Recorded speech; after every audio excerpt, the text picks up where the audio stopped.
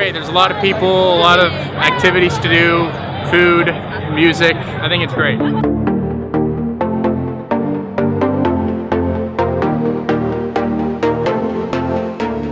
I really love the craft booth in particular because I love tattoos and being able to do stuff that you get to keep is also pretty nice. It's a great opportunity to not only meet new people or like go with friends and like catch up, but also to see what campus is really about.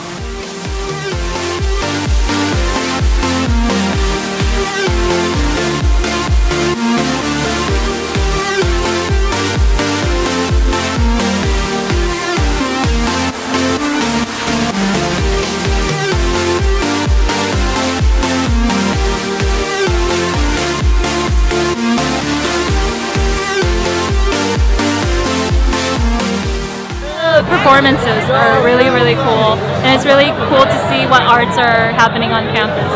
It's a great way for a freshman to really see what the UC Davis campus is about.